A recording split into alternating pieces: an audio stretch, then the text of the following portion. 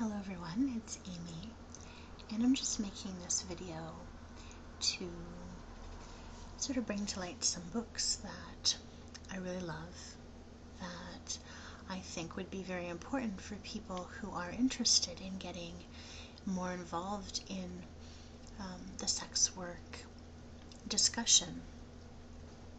Or maybe for those people who would like to know how to be a better ally. And want to educate themselves more around what sex workers are asking for, demanding in most cases for. And to read about some of the developments and personal stories of some sex workers. So I have uh, some of those books that I'm sharing this evening that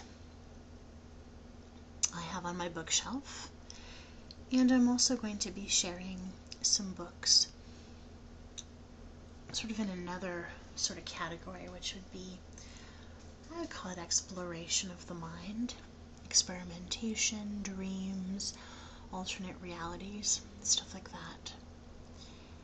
And a children's book that I just absolutely love and wanted to share with all of you. I'm not sure how I picked it up. It was probably in a bookstore randomly, but I got the audio tape and it was just it was just great. It was just great to listen to and had a real fun time. So unfortunately I was a little bit old to get that story in particular read to me as uh, it came out in a, a little bit after my time as a child. But we're never too old to read good children's fiction. anyway, hope you enjoy the video, and if you ever read any of these books, or if you've read them and you want to comment about them, do so down below. You can do a video response, you can send a private message, whatever you like.